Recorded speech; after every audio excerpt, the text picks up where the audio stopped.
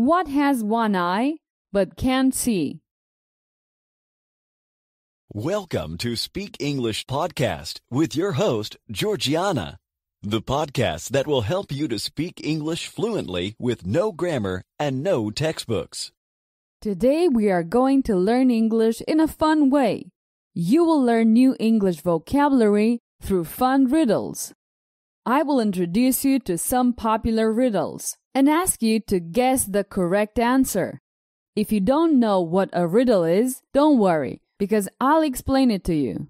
And with a point of view lesson, you will learn grammar without memorizing any boring rules.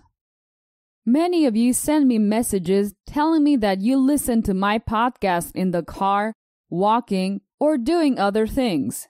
That's great because you are incorporating learning into your lifestyle, not the other way around. That way, you spend more time listening and learning. The idea is always to accumulate many hours of listening for you to internalize the language. By the way, it would make me very happy if you shared my website with your friends. Tell them to go to speakenglishpodcast.com and subscribe to my free mini course.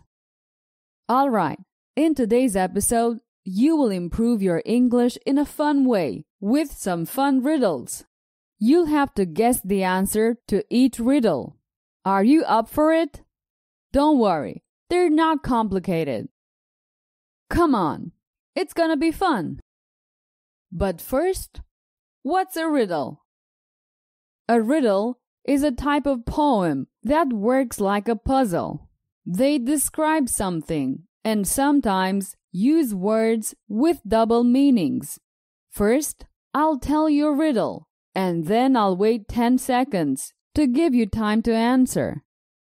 But don't worry, if you need more time, you can pause the audio. Remember that on my website, speakenglishpodcast.com, you will find the transcript of this episode. Let's start. Number 1. What has one eye but can't see?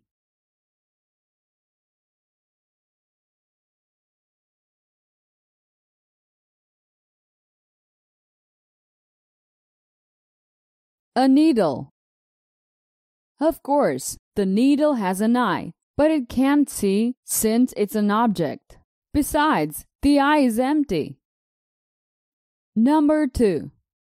What has legs but doesn't walk?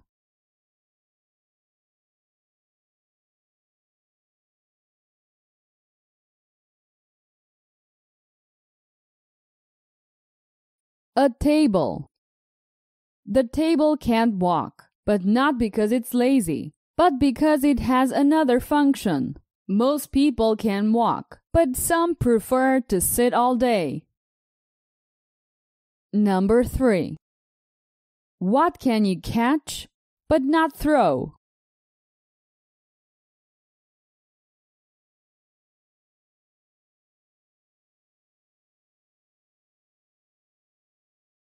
A cold. In English, we use the expression to catch a cold, and it's not like we are chasing a cold. It's just an English expression. Number 4. What kind of band never plays music?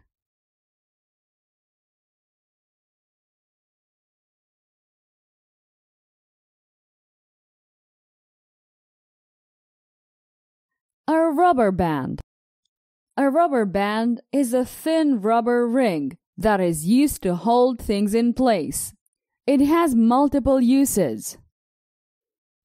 Number 5. What has many teeth but can't bite?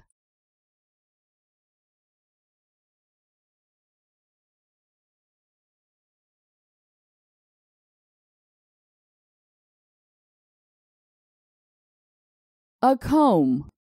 You use the comb to style your hair, so the bristles should not be too sharp. Number 6. What has words but never speaks?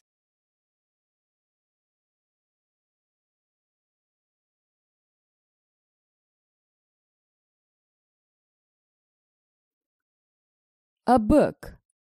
A book cannot talk because it has no mouth, but the author does speak through the words written in the book. Number 7.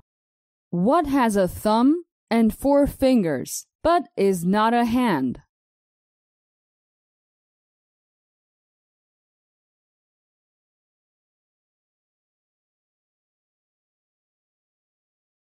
A glove. A glove has all the fingers a person has and protects our hands. They help protect us from the cold and also from aggressive detergents. Number 8. What building has the most stories?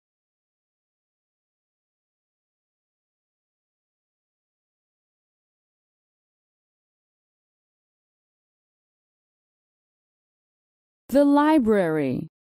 A library is a fantastic place full of books, both fiction and nonfiction. It must be wonderful to work in a library and read a new book every week. Number 9. What kind of coat is best put on wet?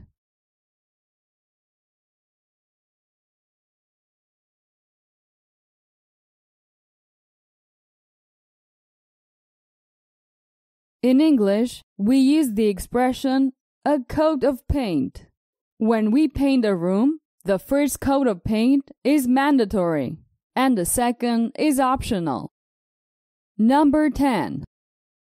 It belongs to you, but other people use it more than you.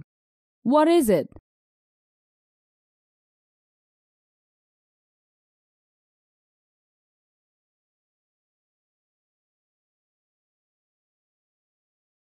Your name. It is true. We use our name less than others. That's why I believe it's a big responsibility how we name our children, so that they don't have to constantly spell their name. Did you have fun? Let's continue with a point of view lesson. Remember to get the transcript at speakenglishpodcast.com. Okay, let's start. I'll tell you a short story more than one time. Every time, I'll change a grammar point. I can change the tense or the person. This way, you'll intuitively notice the changes. I'll tell you a riddle. Here you will have to solve a logic question. I will give you the solution at the end. Let's start. First, in the past tense. The father of two sons died, leaving a large inheritance. In the will, the father put this condition. The two sons had to race their horses.